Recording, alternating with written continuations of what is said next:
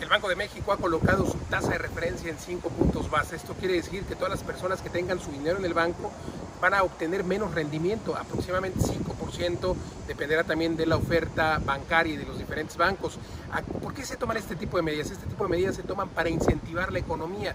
Por supuesto, la economía ha estado dañada por, el, eh, por la pandemia, por el COVID-19 y por el mal manejo que ha tenido el gobierno de México o la falta de certidumbre a muchos empresarios durante 2018-2019 y por supuesto este 2020. En contexto, este, esta reducida en las tasas de interés busca que las personas que tienen dinero pues no lo tengan en el banco porque están eh, perdiendo mucho dinero por el tema del que hemos hablado aquí en los videos acerca del costo del dinero. El costo real del dinero es mucho más alto que tener tu dinero en el banco que tener el 5%. Entonces, lo que se está buscando es que los inversionistas saquen su dinero y empiecen a invertir, por supuesto, en diferentes sectores de la economía, en negocios, en acciones, etcétera, con el objetivo de que puedan subir precisamente sus ingresos, que no se queden con ese 5%. Pero también hay una segunda oportunidad aquí y es que las tasas de interés para créditos hipotecarios, por ejemplo, tendrán, por supuesto, una reducción importante. Y hay una guerra de hipotecas en este momento. Tenemos bancos como Banorte, como Santander, que están dando créditos hipotecarios hoy alrededor del 8%. Incluso se habla de que pronto habrá créditos en 7.5, incluso 7%.